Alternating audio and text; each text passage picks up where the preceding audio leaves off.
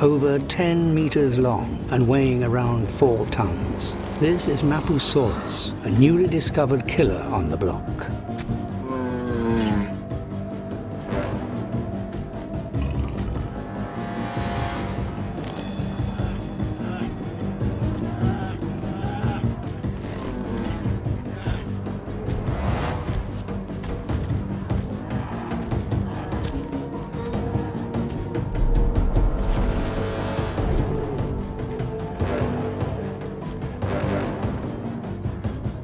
On its own, even it is not a match for a fully grown Argentinosaurus.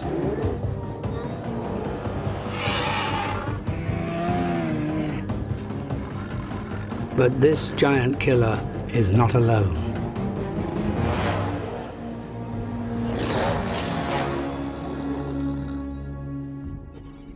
For years, it was thought that an adult Argentinosaurus would be too big for any predator to tackle.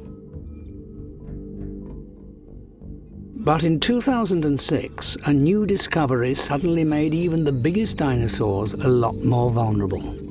As they dug into the Argentinian dirt, they didn't just find one predator buried here.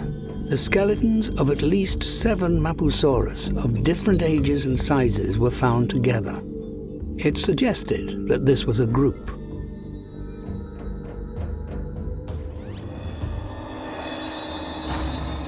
Giant killer that appears to hunt in gangs.